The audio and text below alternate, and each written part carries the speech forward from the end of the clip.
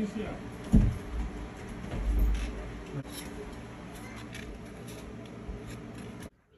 is supposed to be pink. I never wear this one yet. This is new. I wear this one time on my birthday. I wear this two time. I wear this maybe three time. It need to cut down. And this is new. This is new. I love to wear this one because it's short. I wear this I think one time. And I wear this maybe three times this one no. I wear it maybe three times and this one I wear it one time. This one I wear it one time. That's my birthday. And this one I used to wear it very regular that one I wear it let me see maybe two times never wearing that one. So I use a coat hook rock and turn it into a wig stand.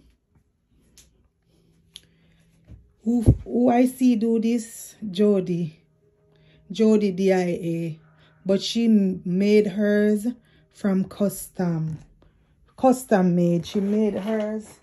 Custom made. So I could figure out how to make it. Custom made. So I figure out the coat stand which is not bad.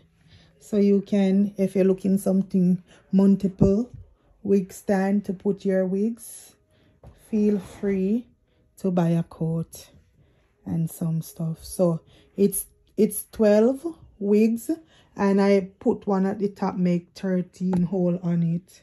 Because it's 12 stand and one in the middle at the top make 13 I wear this one I forgot. Maybe about two time. And I have more wigs anyway in the closet.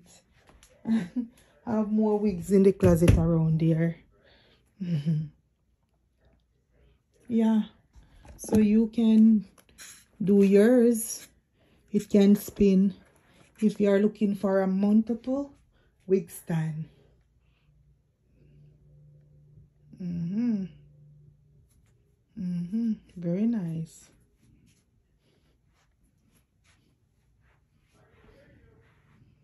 It's really handy. Just take off a wig when you're ready for one. This one I wear on my wedding renewal. And